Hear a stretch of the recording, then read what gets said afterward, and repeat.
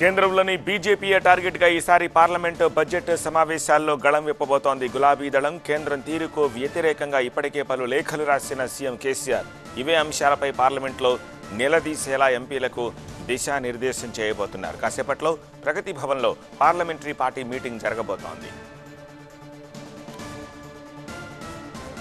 ఎల్లుండి నుంచి parliament budget సమావేశాలు ప్రారంభం కాబోతున్న నేపథ్యంలో ఉభయ సభల్లో అనుసరించాల్సిన వ్యూహాన్ని ఖరారు చేస్తారు సీఎం కేసీఆర్.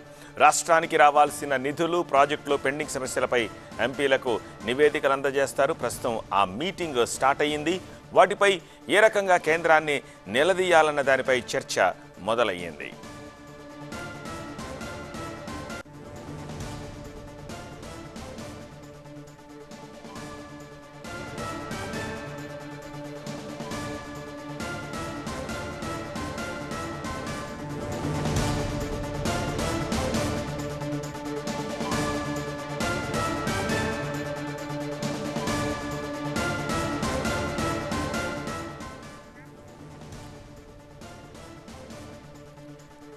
కేంద్రంలో బీజేపీని టార్గెట్గా ఈసారి పార్లమెంటు బడ్జెట్ సమావేశాల్లో గళం విప్పబోతోంది. గులాబీ దళం కేంద్రం తీరుకు వ్యతిరేకంగా ఇప్పటికే పలు లేఖలు రాసిన సీఎం కేసీఆర్.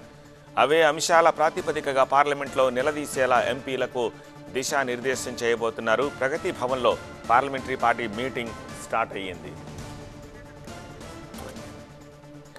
మరింత సమాచారం మా ప్రతినిధి శ్రీధర్ ప్రసాద్ లైవ్ ద్వారా అక్కడి నుంచి అందిస్తారు. శ్రీధర్ మొత్తం ఉభయ సభల ఎంపీలంతా కూడా మీటింగ్కి attend అయినట్టేనా?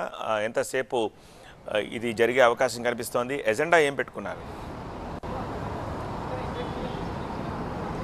Right single point agenda parliament budget sessions ప్రారంభం కాబోతున్న నేపథ్యంలో తెలంగాణ రాష్ట్రానికి రావాల్సిన కేటాయింపులు. అంటే ఆ ఏపీ రీఆర్గనైజేషన్ ఏదైతే చట్టం ఉందో దాని ప్రకారం తెలంగాణకు రావాల్సిన హామీలు ఇంకా కూడా రావాల్సి ఉన్నాయి. అటు బయ్యార్ ముఖ్య ఫ్యాక్టరీ కావచ్చు కాజీపేట రైల్వే ఫ్యాక్టరీ కావచ్చు ఇలా చాలా హామీలను ఇంకా కేంద్రం నెరవేర్చాల్సి ఉంది కాబట్టి ఈ బడ్జెట్ సమావేశాల్లోనైనా కేంద్ర ప్రభుత్వం హామీలన్నింటినీ కూడా నెరవేర్చాలి. ఎందుకంటే అప్పటి కాంగ్రెస్ ప్రభుత్వం ఉన్నప్పుడు రెండు రాష్ట్రాలు విడిపోయాయి కాబట్టి ప్రత్యేక రాష్ట్రం ఏర్పడింది కాబట్టి అప్పుడు చట్టంలో పేర్కొన్న పేర్కొన్న అంశాలన్నీ కూడా ఇంకా నెరవేరలేదు కాబట్టి వాటి నెట్టి పరిస్థితుల్లో ఈ బడ్జెట్ సమావేశాల్లో సాధించాలని చెప్పేసి టీఆర్ఎస్ పార్టీ ఒక పట్టుబట్టి ఉంది అదే విషయాల్ని ఎంపీలకు చెప్పబోతున్నారు. ఇక సరిగ్గా నెల రోజులుగా ముఖ్యమంత్రి కేసీఆర్తో సహా రాష్ట్రంలోనే అన్ని శాఖల మంత్రులంతా కూడా కేంద్రానికి లేఖలు రాస్తున్నారు. ముఖ్యంగా కేటీఆర్ కావచ్చు హరీష్ రావు ఇప్పటికే చాలా లేఖలు రాశారు. చేనేత రంగంలో కావచ్చు రోడ్ల విషయంలో కావచ్చు.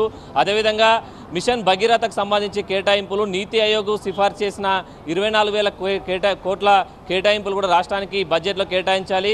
మొత్తంగా రాష్ట్ర ప్రభుత్వం ఇప్పటికే లేఖలు రాసిన దాన్ని లెక్క లెక్కబట్టి కావచ్చు. అదేవిధంగా నీతి ఆయోగ్ సిఫార్సులను బట్టి కావచ్చు దాదాపు నలభై వేల కోట్లకు పైగా తెలంగాణ రాష్ట్రానికి ప్రత్యేకంగా ఈ బడ్జెట్లో కేటాయింపులు ఉండాలని చెప్పేసి కోరుతూ ఇప్పటికే రా కేంద్ర ప్రభుత్వాన్ని రాష్ట్ర ప్రభుత్వం రిక్వెస్ట్ చేసింది లెటర్లు రాసింది కాబట్టి నలభై వేల కోట్ల కోట్ల కేటాయింపులకు సంబంధించి పట్టుబట్టాలి ఉభయ సభల్లో అటు రాజ్యసభలో అయినా పార్లమెంట్ సభల్లో ఎంపీలంతా కూడా ఒకే మాట పైగా పట్టుబట్టాలి. ఎందుకంటే చాలా ఇంపార్టెంట్ కీలక బడ్జెట్ కాబట్టి. బడ్జెట్లో ఎట్టి పరిస్థితుల్లో కేటాయింపులు ఉంటేనే రాష్ట్ర ప్రభుత్వానికి రాష్ట్రానికి మేలు జరుగుతుందని చెప్పేసి ప్రభుత్వం భావిస్తుంది.